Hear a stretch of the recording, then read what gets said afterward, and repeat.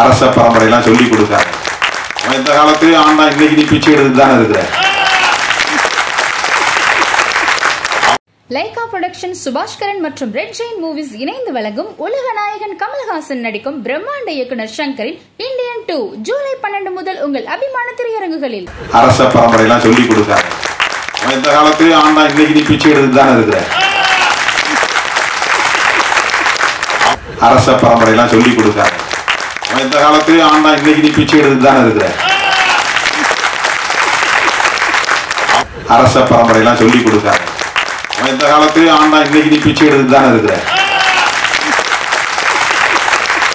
இருப்பவர்களும் கூட நாடக காதல் என்கிற பெயரிலே அதையும் அரசியலாக்கி அல்லது வணிகமாக்கி ஆதாயம் தேட பார்க்கிறார்கள் அவர்கள் அரசியல்வாதியிடமும் கெட்டிக்காரர்கள்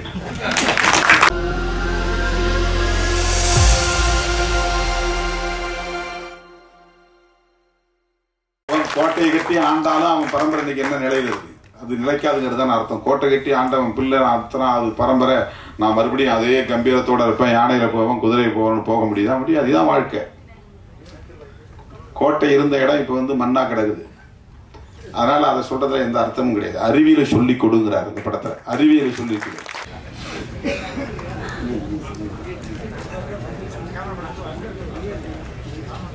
அறிவிச்சு அறிவிச்சு வெளியில வெளியிட்டு வெளியில போறோம் வெளியிட்டு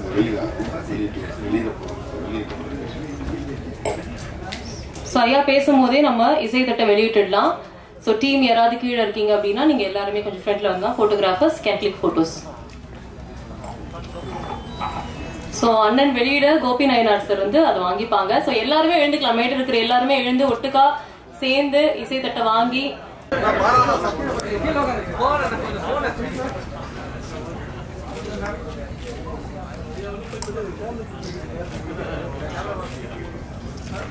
திரு லோக பத்மநாபன் அவர்களின்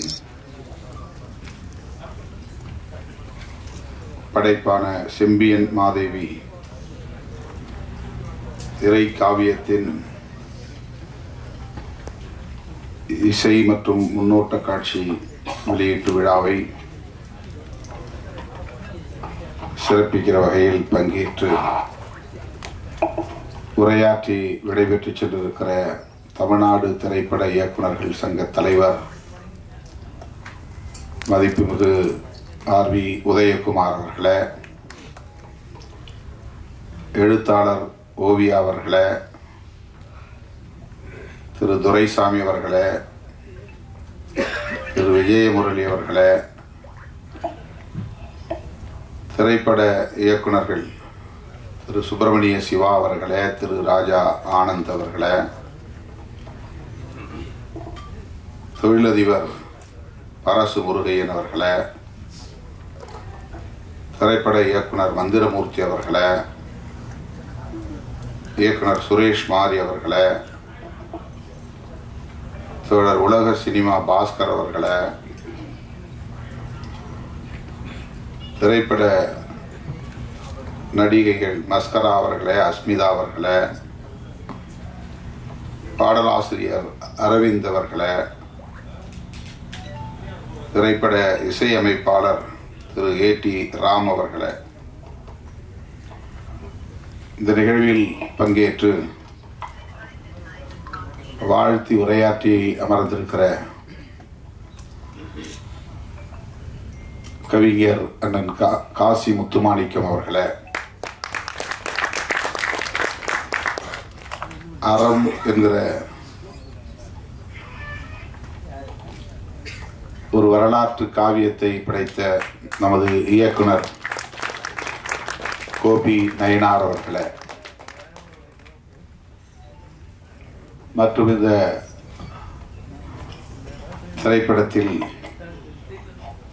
இந்த படைப்பாக்கத்தில் இயக்குனர் லோக பத்மநாபன் அவர்களுக்கு துணை நின்ற உதவி மற்றும் துணை இணை இயக்குனர்களே அனைத்து தொழில்நுட்ப கலைஞர்களே வருகை தந்திருக்கிற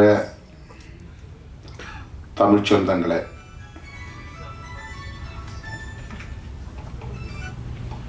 திரு லோக பத்மநாபன் அவர்களே உங்கள் அனைவருக்கும் என்னுடைய பணிவார்ந்த வணக்கத்தை தெரிவித்துக் கொள்கிறேன். சற்று காலந்தாழ்ந்து வர நேர்ந்தமைக்கு முதலில் வருத்தத்தை தெரிவித்துக் கொள்கிறேன்.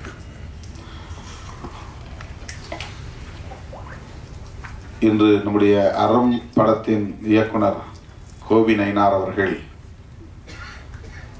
இயக்கியுள்ள மனுஷி என்கிற ஒரு திரைப்படத்தின் முன்னோட்ட காட்சியை பார்க்கிற ஒரு சூழல் அமைந்தது. திரு வெற்றிமாறன் அவர்களின் தயாரிப்பில் கோபிநயினார் அவர்களின் இயக்கத்தில். விரைவில் வெளிவர இருக்கிற இசையமைப்பாளர் இளையராஜா அவர்களுடைய இசையில் பின்னணி இசையில் விரைவில் வெளிவர இருக்கிற மனுஷி திரைப்படத்தை பார்த்தோம். அதனால்தான் மூன்று பேரும் ஒன்றாக வந்து சேர்ந்திருக்கிறோம். இயக்குனர் கோபி அவர்களும் நம்முடைய அண்ணன் கவிஞர் காசிமுத்து மாணிக்கம் அவர்களும்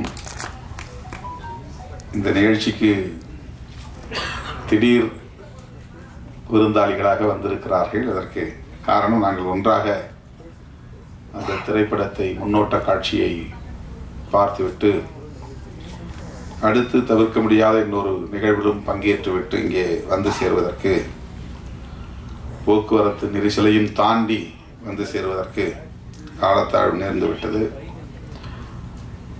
நெடுநேரமாக நீங்கள் காத்திருக்கிறீர்கள்.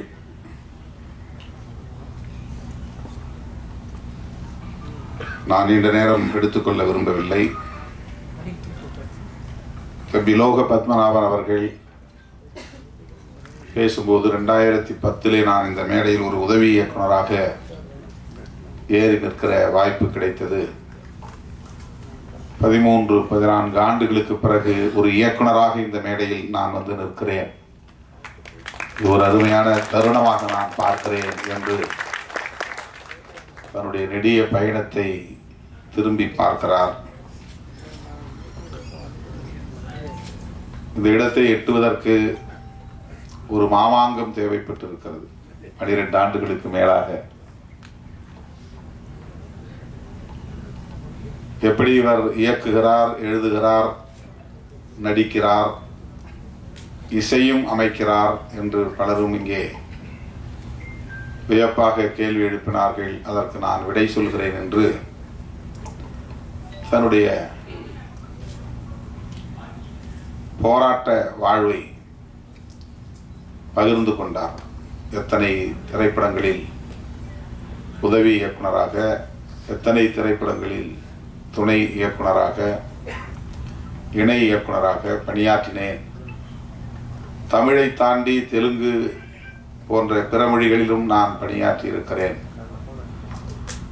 ஐந்தாண்டு காலம் இசை மாணவனாக பட்டய வகுப்பில் பயின்று தேர்ச்சி பெற்றிருக்கிறேன் என்று தனக்குள்ள தகுதி நிலைகளையும் இங்கே எடுத்துரைத்தார். இத்தனை தகுதிகள் இருந்தும் ஆற்றல் இருந்தும் அனுபவம் பட்டறிவு இருந்தும் தான் எண்ணியதை எய்துவதற்கு அடைவதற்கு இந்த களத்தில் எவ்வாறு போராட வேண்டியிருக்கிறது என்பதைத்தான் அவருடைய உரை நமக்கு உணர்த்தி இருக்கிறது பதிமூன்று ஆண்டுகளுக்கு பிறகு ஒரு இயக்குனராக இப்போது அவர் இந்த மேடையிலே நிற்கிறார் அவர் இயக்கிய படைத்திருக்கிற அந்த திரைப்படத்தின் இசை தட்டினை வெளியிடுவதற்கான ஒரு வாய்ப்பை எனக்கு வழங்கி எனக்கு பெருமை சேர்த்திருக்கிறார். அதற்காக நான் அவருக்கு முதலில் நன்றியை தெரிவித்துக் கொள்கிறேன். திரைப்படத்தை முழுமையாக பார்த்தால்தான் அதை பற்றி நாம் சொல்ல முடியும். ஆனாலும் அதன் கருப்பொருள் என்ன என்பதை நம்முடைய ஆர்வி உதயகுமார் அவர்களும் சரி எனக்கு முன்னர் பேசிய அனைவரும் சரி கோடிட்டு காட்டியிருக்கிறார்கள் தொட்டு பேசியிருக்கிறார்கள். தமிழ்நாட்டில் காதல் என்பதும் ஒரு அரசியலுக்கான பேசுபடு பொருளாக மாறியிருக்கிறது. காதலை பற்றியும் பேசி அரசியல் ஆதாயம் தேட முடியும் என்பது தமிழக அரசியலில்தான் முதல் முதலாக நாம் பார்த்தோம். அரசியல் ஆதாயத்திற்கு காதலையும் பயன்படுத்துவது அதையும் ஒரு மூலதனமாக மாற்றிக்கொள்வது. ஒருபடி அரசியல்வாதியை தாண்டி சினிமா துறையில் இருப்பவர்களும் கூட நாடக காதல் என்கிற பெயரிலே அதையும் அரசியலாக்கி அல்லது வணிகமாக்கி ஆதாயம் தேட பார்க்கிறார்கள். அவர்கள் அரசியல்வாதியிடமும் கெட்டிக்காரர்கள். அரசியல்வாதிகளையும் தூக்கி சாப்பிடக்கூடிய அளவுக்கு கெட்டிக்காரர்களாக இருக்கிறார்கள். என் பெயரை சொல்லியும் பிழைக்கிறார்கள். பிழைத்து விட்டு போகட்டும் என்று நான் அதை கண்டுகொள்ளவில்லை. எனக்கும் அதற்கும் அவர்கள் சொல்லுகிற பொருளுக்கும் சம்பந்தமே கிடையாது. என் பெயரை சொல்லி ஒரு படம் தயார் பண்ணி அதிலே வணிகம் செய்ய முடியும். என்கிற அளவுக்கு நான் ஒரு மூலதன பொருளாக இருக்கிறேன். அவர்களுக்கு. என்று சில நேரங்களில் நான் தோழர்களோடு பகிர்ந்து கொள்வதுண்டு காதல் என்பது காலம் காலமாக பேசப்பட்டு வருகிற ஒரு உயர்ந்த சொல் சிறந்த சொல். மனிதன் தோன்றிய காலத்திலிருந்து மனித குலத்தை வழிநடத்துகிற ஒரு வலிமைமிக்க சொல் காதல். யாரும் சொல்லி வருவதில்லை. தூண்டியும் வருவதில்லை. அது ஒரு இயல்பான உணர்வு. அதைதான் ஆர் வி உதயகுமார் அவர்கள் காதலித்து பார்த்தால்தான் காதலை புரிந்து கொள்ள முடியும் என்று சொன்னார். பாடம் எடுத்து புரிந்து கொள்ள முடியாது. அறிவியலை பாடம் எடுத்து சொல்லித்தர முடியும் கணக்கை பாடம் எடுத்து சொல்லித்தர முடியும் அதற்கெல்லாம் ஆசிரியர்கள் உண்டு. காதலுக்கு ஆசிரியர்கள் கிடையாது. அது இயல்பான உணர்வு. அப்படி சொல்லித்தரவும் முடியாது.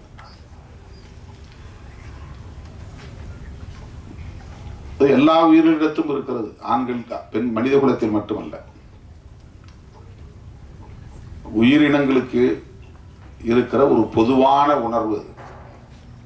அது. உலகம் தழுவிய ஒரு பொது உணர்வு.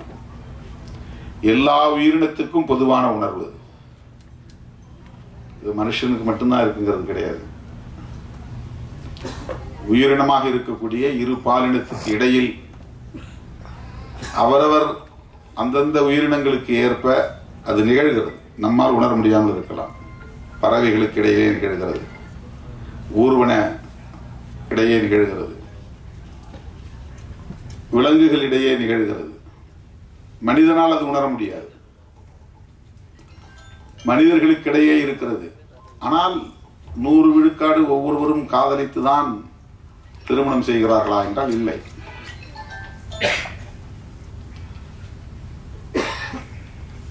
ஒரு கிராமத்திலே ஒரு வயதுத்த இளம் ஆண்கள் அல்லது இளம் பெண்கள் ஒரு இருபது ஆண்கள் அல்லது இருபது பெண்கள் இருக்கிறார்கள் என்று சொன்னால் அவர்கள் அனைவருமே யாரையாவது காதல் செய்து தமது வாழ்க்கையை தீர்மானிக்கிறார்களா என்றால் கிடையாது. அங்கொன்றும் இங்கொன்றுமாகத்தான் அது நடக்கிறது. அதற்கான வாய்ப்பு உருவாகிறது. உணர்வு இருக்கும் அது கனியாது மலராது. அந்த சூழல் உருவாகாது. ஆகவே இது ஒரு தன்னியல்பான ஒன்று.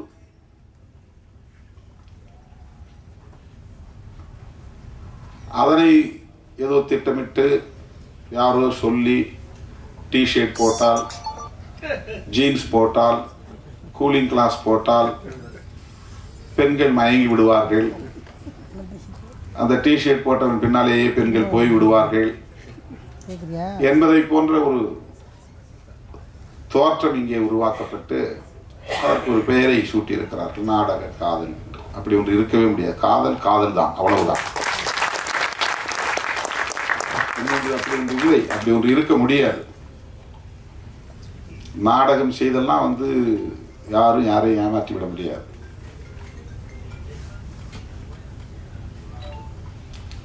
நாம் பெற்ற பிள்ளைகளையே நாம் குறைத்து மதிப்பிடுவதாக ஆகிவிடும். நாம் பெற்ற பிள்ளைகளையே நாம் அவமதிப்பதாக ஆகிவிடுகிறது இழிவு செய்வதாக ஆகிவிடுகிறது யாரையோ பழிப்பதற்காக யாரையோ இழிவுபடுத்துவதற்காக நாம் பெற்ற பிள்ளைகளை நாம் கொச்சைப்படுத்தக்கூடாது. இந்த விமர்சனங்கள் ஒரு தனிநபருக்கு எதிரான விமர்சனங்கள் அரசியல் ரீதியாக செய்யப்படுகின்றன என்பது ஒரு புறம் இருந்தாலும் பெண்களை நம் வீட்டு பிள்ளைகளை பெண் பிள்ளைகளை அது கொச்சைப்படுத்துகிற ஒன்று.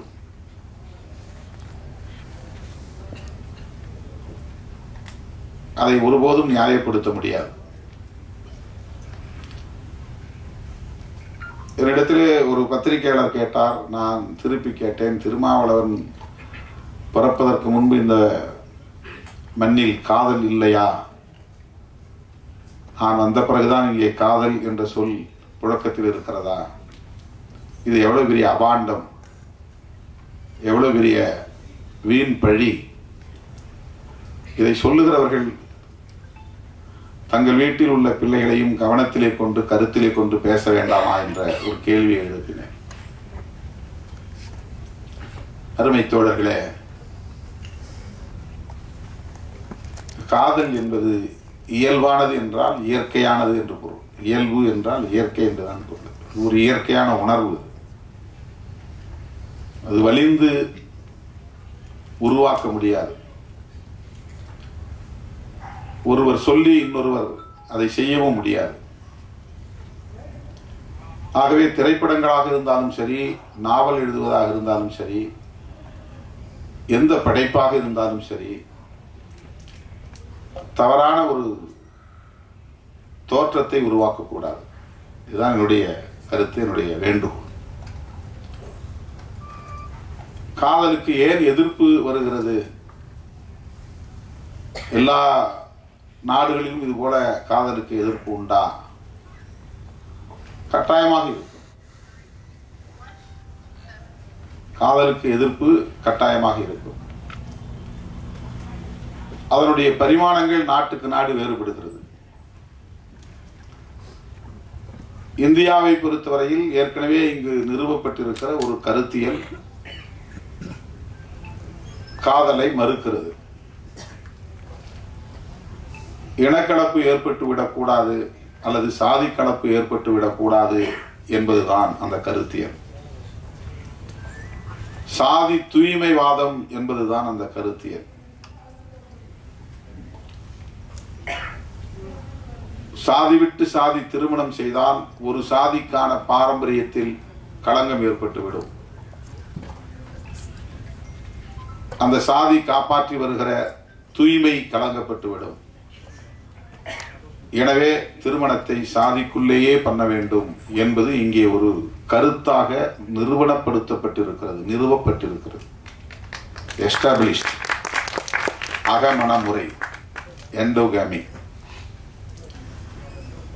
இது எஸ்சி எஸ்டி மக்களுக்கும் இதர மக்களுக்கும் இடையிலான பிரச்சனை கிடையாது. ஒவ்வொரு சாதிக்கும் இடையிலான பிரச்சனை இது. ஒவ்வொரு சாதிக்கும் இடையிலான பிரச்சனை இது. சாதியிலேயே உயர்ந்த சாதி என்று கருதப்படுகிற பிராமணர்கள் தனித்தனி சாதிகளாகத்தான் இருக்கிறார்கள். அங்கேயும் அகமண முறைதான் உண்டு. புறமண முறை கிடையாது.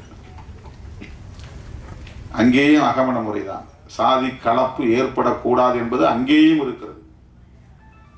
சாதி தூய்மைவாதம் அங்கேயும் இருக்கிறது.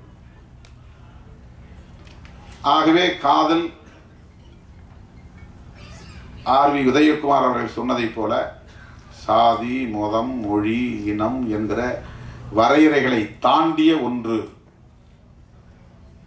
அதை தடுப்பது இந்த கருத்தியல் சாதி விட்டு சாதியெல்லாம் காதலிக்க கூடாது. காதலித்தால் வெட்டுவோம். இது ஏன் நிகழ்கிறது? இனக்கலப்பு ஏற்படக்கூடாது. சாதி தூய்மை பாதுகாக்கப்பட வேண்டும். சாதி தூய்மை பாதுகாக்கப்பட வேண்டும் என்பதற்காக தண்டனை வழங்கப்பட்டது. அந்த தண்டனையை வரையறுத்த சட்டம் தான் மனுஸ்மிருதி. மனுஸ்மிருதி என்பது ஒரு சட்டம் அது. அது ஒரு கோட் ஆஃப் மனு என்று தான் அதற்கு பெயர். அதுதான் அந்த த- அந்த தண்டனையை தருகிறது. சாதி விட்டு சாதி திருமணம் பண்ணால் அவங்கள அலோவ் பண்ணக்கூடாது. ரெண்டு பேரையும் ஒழிச்சிடணும் இல்லைன்னா சாதி கலப்பு ஏற்பட்டுரும். சாதி கலப்பு ஏற்படக்கூடாது என்பது ஒரு கருத்தியலாக இந்த மண்ணில் நிலைநிறுத்தப்பட்டிருக்கிறது. அந்த கருத்து தான் காதலுக்கு எதிர்ப்பாக நிற்கிறது. அதுதான் நாடக காதல் என்கிற புதிய சொல்லாடலை எல்லாம் கொண்டு வந்து நிறுத்துகிறது. படைப்பாளர்கள் அதை தாண்டி சிந்திக்க வேண்டும். அதனால்தான் வந்து கலைஞர்கள் படைப்பாளர்கள் சுதந்திரமானவர்களாக இருக்க வேண்டும். இந்த மாதிரியான எந்த பிற்போக்கான கருத்தியலுக்குள்ளும் போய் சிக்கிக் கொள்ளக்கூடாது அவர்கள் இயல்பான வாழ்வியலோடு இயைந்து இயங்கக்கூடியவர்களாக இருக்க வேண்டும்.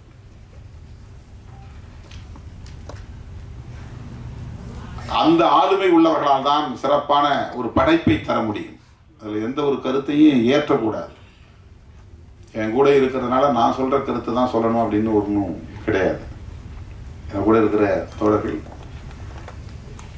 அவருக்கு ஒரு சுதந்திரம் இருக்கு. இப்ப அறம் படத்தினுடைய இயக்குனர் கோபி எம்மோடு இணைந்து அரசியல் களத்திலும் பணியாற்றுகிறார். ஆனா அந்த சாயல் இருக்காது அவருடைய படைப்புல. அதுதான் அவருக்குள்ள ஆளுமை. அதுதான் அவருக்குள்ள சுதந்திரம். இன்றைக்கு படத்தை பார்த்து வந்த நானும் கவிஞர் காசிமுத்து மாணிக்குமார்களும் அவரை பயங்கரமா பாராட்டிக்கிட்டே வந்தோம். இந்த பாராட்டு மழையில் நினைஞ்சு உட்காந்துக்கிறாரு இந்த படம் வெளியே வந்தால் அவர் யாருங்கிறது தெரியும். எவ்வளோ பெரிய இன்டலெக்சுவல் அப்படிங்கிறது தெரியும் படம்னா குத்துப்பாட்டு இருக்கணும் படம்னா வந்து காதல் காட்சி இருக்கணும் படம்னா சண்டை இருக்கணும் கடம் படம்னா வன்முறை இருக்கணும் படம்னா வந்து ஒரு வணிக நோக்கம் இருக்கணும் அப்படிங்கிறதெல்லாம் உடைச்சிருக்கிறாரு. வெறும் டிஸ்கஷன் தான். ரெண்டு மணி நேரம். ஒரு அறைக்குள்ளே உட்காந்து பேசிக்கிட்டே இருக்கிறாங்க அவ்வளோதான் அதான் படம். அவுட்டோர் ஷூட்டிங்லாம் கிடையாது. ஊர் ஊராக கேமராவை எடுத்துட்டு சுற்றுறதுலாம் இல்லை. ஒரு ரூமை பிடிச்சி ரூமில் நாலு பேரை உட்கார வச்சு பேச வைக்கிறேன் பாட்டு கிடையாது. டூயட் கிடையாது. லவ் இல்லை. இந்த மாதிரி எந்த பரிமாணங்களும் அதுல கிடையாது. இது படைப்பாளர்களுக்குள்ள ஒரு ஆளுமை அதில் அவர் என்ன சொல்ல வர்றாருன்னா மக்களை அறிவியலோடு இணைந்து வாழ கற்பிக்க வேண்டும். அறிவியல் என்ன சொல்ல அறிவியல் சொல்றதுதான் வந்து யதார்த்தமான உண்மை. அறிவியல் தான் யதார்த்தமான உண்மை. அதுல எந்த விதமான புனைவும் இருக்காது. நம்பிக்கைங்கிற பேர்ல எந்த கற்பனையும் இருக்காது. எந்த திணிப்பும் இருக்காது அறிவியலில். அறிவியல் அறிவியல் அவ்வளவுதான். அது நிறைய தத்துருவமான காட்சிகள் அதில் பதிவு பண்ணியிருக்கிறார்.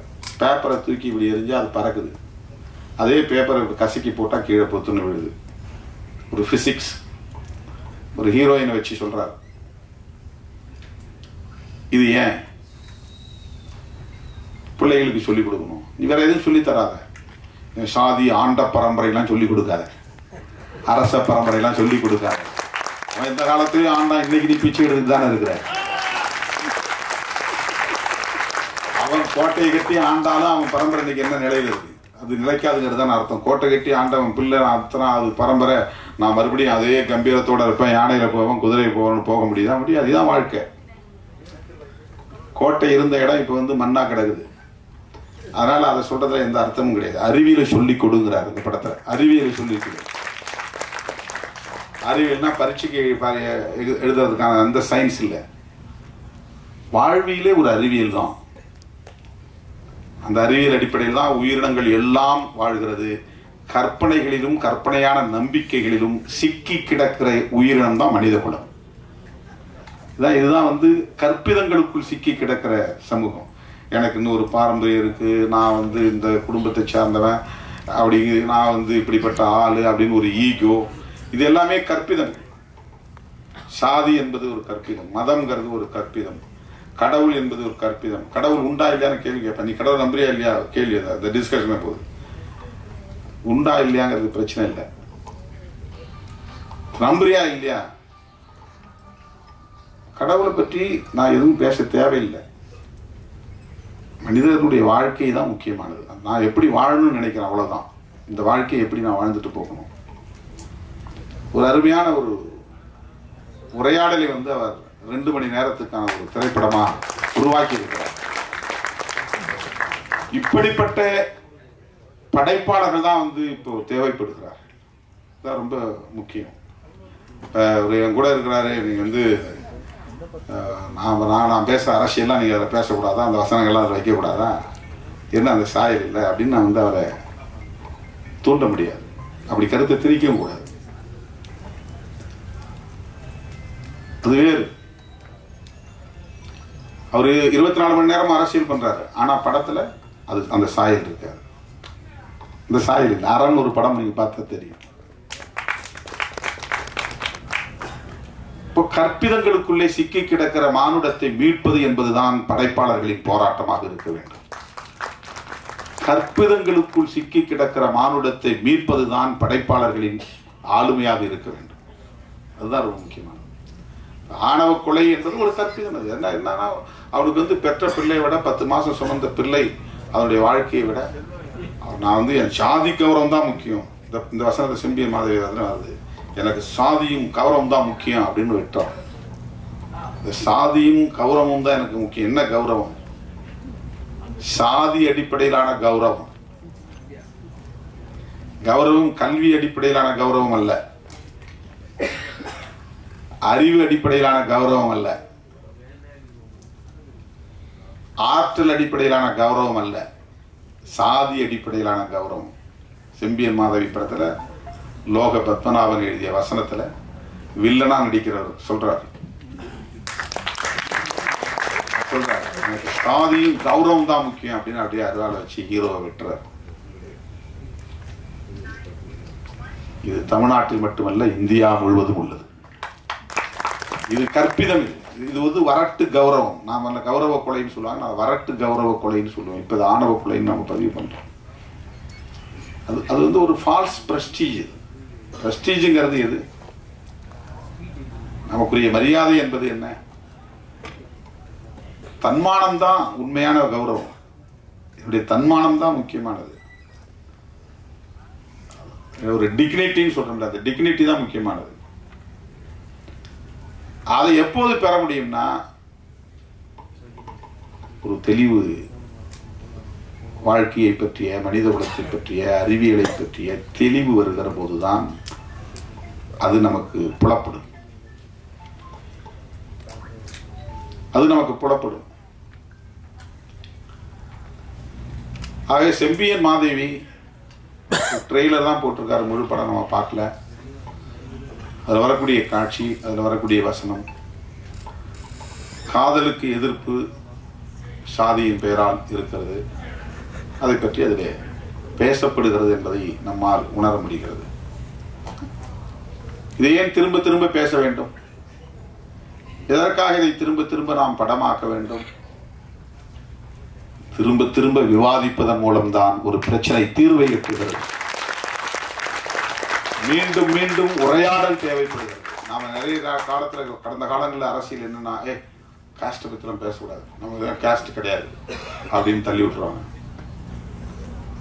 சாதி பிரச்சனை பத்தி பேசக்கூடாது. நம்ம இடத்துல சாதி பிரச்சனை இல்லை. ஆனா இருக்கு. உண்மையில் இருக்கு. மனுஷன் பிறந்ததுல இருந்து வரையிலும் அவனை அறியாம அவனை வழி நடத்திட்டு இருக்கிறது சாதி உளவியல். இந்திய மண்ணை பொறுத்தவரையில. அவன் உடுத்துறதிலிருந்து உண்ணுவதிலிருந்து உறங்குகிற வரையில் அவனை அறியாமல் அவனை வழிநடத்துவது சாதி உளவியல். இது வந்து டிஎன்ஏலே வந்து அதுக்கான கட்டமைப்பை போட்டான். நான் சாதி ஒழிப்பை பேசினா கூட என்னை ஏதோ ஒரு சக்தி இயக்கி கொண்டிருக்கிறது. அதில் டாமினன்ட் ஆதிக்கம் செலுத்துவது சாதியாக தான் இருக்கு. நான் யாரோட உறவாட முடியும்? நான் யாரை நட்பாக வச்சுக்க முடியும்? எனக்கு யார் அக்சஸாக இருக்கிறாங்க? ஈஸி அக்சஸாக இருக்கிறாங்க? இந்த இந்த சமூகம் அப்படி கட்டமைக்கப்பட்டிருக்கு. அந்த மாதிரி தான் வந்து நண்பர்கள் அந்த மாதிரி தான் உறவுகள் அந்த மாதிரி தான் வந்து இயக்கம் நடவடிக்கைகள் இந்த மண்ணில் அமைக்கப்பட்டிருக்கிறது. நாம் ஏன் இதை வேண்டாம் என்று சொல்லுகிறோம்? இதற்கு ஒரு நீண்ட நெடிய கசப்பான அனுபவங்கள் இருக்கிறது. நான் மட்டும் சொல்லவில்லை. ஐயன் திருவள்ளுவன் சொல்லியிருக்கிறார் ரெண்டாயிரம் வருடங்களுக்கு முன்னால். காதலை வாழ்த்துகிறார் சாதி ஒழிகை என்கிறார். இது ஐயன் திருவள்ளுவருடைய நிலைப்பாடு. அதற்கும் பின்னால போனால் கௌதம புத்தரும் தான் சொல்றாரு. கௌதம புத்தர் வந்து ஏதோ ஒரு மதத்தை உருவாக்கிய குரு என்பதை போல மடாதிபதி என்பதை போல இங்கே காட்டப்படுகிறது. அல்லது கடவுள் போல காட்டப்படுகிறது. கிடையாது. இந்த மண்ணில் சமத்துவம் இல்லை. சமத்துவத்தை உருவாக்க வேண்டும் என்பதற்காக ஒரு கோட்பாட்டை உருவாக்கியவர் கௌதம புத்தர். சுதந்திரம் சமத்துவம் சகோதரத்துவம் என்பதுதான் பௌத்தத்தின் அடிப்படை கோட்பாடுகள். அரசமைப்பு சட்டத்தில் பிரியாம்பிள் என்கிற முகப்புறையில் அம்பேத்கர் அவர்கள் எடுத்து கையாளுகிற இந்த சொற்கள் பகவான் புத்தரின் போதனைகளில் இருந்து நான் எடுத்து கையாண்டது என்று புரட்சியாளர் அம்பேத்கர் அவர்கள் விளக்கம் தருகிறார். பிரெஞ்சு புரட்சியிலிருந்து நான் எடுக்கல அவருடைய போதனைகளில் இருந்து ஆகவே அவரும் இந்த சாதியின் பெயரால் இருக்கிற சமத்துவமின்மையை எதிர்க்கிறார். சனாதனத்தால் நிறுவப்பட்டிருக்கிற சம இந்த கருத்தியலை இந்த உளவியலை அவர் கட்டுடைக்கிறார். அதுதான் ஆகவே இது ஏதோ புதுசா நாம பேசுற அரசியல் கிடையாது. நம்ம இப்போ பேச வேண்டாம். கா காதலுக்கு மரியாதை கொடுக்கணும். காதலை வந்து சாதியின் பெயரால தடுக்கக்கூடாது அப்படின்னு நம்ம பேசுகிறோம்னா இது நம்முடைய கருத்து கிடையாது இப்போ ஆயிரம் ஆண்டுகளுக்கு மேலாக இங்கே பேசப்பட்டு வருகிற கருத்து தான். ஆக இன்னும் உரையாட வேண்டிய தேவை இருக்கிறது. இந்த ரெண்டாயிரம் வருஷம் பத்தலை. இன்னும் உரையாட வேண்டிய தேவை இருக்கிறது. இன்னும் ரெண்டாயிரம் வருஷம் கூட பிடிக்கலாம். இதை கடந்து மனிதன் முதிர்ச்சி அடைவதற்கு பக்குவம் அடைவதற்கு உயர்ந்த நிலையை எட்டுவதற்கு உளவியல் பக்குவமடைந்த உளவியலை பெறுவதற்கு இன்னும் பல நூறு ஆண்டுகள் கூட ஆகலாம். நாம் எந்த அளவுக்கு இந்த உரையாடலை இன்னும் கூர்த்திட்டுகிறோமோ ஜனநாயக பூர்வமாக இது சரி இது தவறு இது வேண்டும் இது வேண்டாம் இது நியாயம் இது அநியாயம் என்கிற அடிப்படையிலே இந்த உரையாடல்களை நாம் கூர்த்திட்ட கூர்த்திட்ட அது விரைவாக ஒரு பக்குவமடைந்த நிலையை எட்டும். ஆகவே செம்பியன் மாதேவி போன்ற திரைப்படங்கள் இன்னும் இன்னும் இங்கே தேவைப்படுகிறது. ஆணவ கொலைகள் குறித்த விவாதங்களை இன்னும் கூர்த்தீட்ட வேண்டிய தேவை இருக்கிறது. இது மோதலுக்காக அல்ல தீர்வுக்காக. இது வன்முறையை தூண்டுவதற்காக அல்ல ஒரு நல்ல வாழ்வியலை கட்டமைப்பதற்காக. உரையாடல் நிகழ்த்தாத எந்த பிரச்சனையும் தீர்வை தேரா- தேடாது. தீர்வை தராது. புருஷன் பொண்டாட்டிக்கு இடையில பிரச்சனை இருந்தா கூட மூஞ்சி மூடிச்சிட்டு கூடாது. பேசணும். திரும்பி கூடாது. பேசணும். என்னங்கிறத அதுக்குன்னு நேரத்தை ஒதுக்கி வச்சு பேசணும். அப்பதான் அதுக்கு தீர்வு கிடைக்கும். பேசாத எந்த பிரச்சனைக்கும் தீர்வு இல்லை. உரையாடல் இல்லாத எந்த சிக்கலுக்கும் தீர்வு கிடையாது. ஆகவே இது போன்ற படைப்புகள் எல்லாம் உரையாடல்களுக்கான படைப்புகள். தீர்வை நோக்குகிற தீர்வை நோக்கி பயணிக்கிற உரையாடல்களை உருவாக்குவதற்கான படைப்புகள். அந்த களத்தை தேர்வு செய்து லோக பத்மநாபன் அவர்கள் துணிந்து அந்த கருப்பொருளை எடுத்து கையாண்டிருக்கிறார். அதை இன்றைக்கு ஒரு படைப்பாக நம் இடத்திலே தமிழ் சமூகம் உணர வேண்டும் என்கிற வகையிலே சமர்ப்பிக்கிறார் என்பது பாராட்டுதலுக்குரியது. அவருடைய முதல் படம் அவருடைய இயக்கத்தில் வெளிவருகிற முதல் படம் மாபெரும் வெற்றியை பெற வேண்டும். அவர் மிகச்சிறந்த இயக்குனர் என்கிற நிலையை எட்ட வேண்டும். இந்த வணிகமயமான கதை பின்னலுக்குள்ளே போய் சிக்கிக் கொள்ளாமல் ஒரு படம் எடுத்தால் கூட அவர் ஒரு ஏழு எட்டு வருஷத்துக்கு முன்னால் எடுத்தார். ஆனால் அறம் இன்னைக்கும் பேசப்படுகிறது. ஒரே ஒரு படம் தான். ஒரே ஒரு சின்ன கருப்பொருள் தான். ஒரு படம் எடுத்தால் கூட அதுக்கப்புறம் படம் கூட தேவையில்லை. ஆனால் அதிலே மனித குலத்துக்கு நாம் என்ன சொல்லுகிறோம்? எப்படி அவர்களுக்கான வழிகாட்டுதலை தருகிறோம்? அதை எப்படி உரையாடலுக்கு உட்படுத்துகிறோம்? அதுதான் ரொம்ப முக்கியம். இந்த படம் வந்தவொடனே ஒரு பத்து நாள் பேசுபடு பொருளாக மாறும். ஒரு கோடி கோடியாக பணம் கொட்டும். அதில் பெரிய பயனடைவாங்க. அதுக்கப்புறம் அது போய் ஒரு வாரத்தில் கிடக்கும். அதுக்கப்புறம் அது யாரும் பேச முடியாது. அப்படி படைப்புகள் அப்படி இருக்கக்கூடாது. ஆகவே செம்பியன் மாதேவி படத்தை எழுதி இயக்கியிருக்கிற இசையமைத்திருக்கிற லோக பத்மநாபன் அவர்கள் ஒரு முற்போக்கான சிந்தனையுள்ள சமூக மாற்றத்தை விரும்புகிற இயல்பான இயற்கையான வாழ்வியலை மனித குலத்துக்கு எடுத்துரைக்கிற ஆற்றல் வாய்ந்த ஒரு படைப்பாளராக பரிணமிக்க வேண்டும். இன்னும் இன்னும் அவருடைய புகழ் ஓங்க வேண்டும் என்று சொல்லி இந்த வாய்ப்புக்கு நன்றி கூறி முடிக்கிறேன். நன்றி வணக்கம்.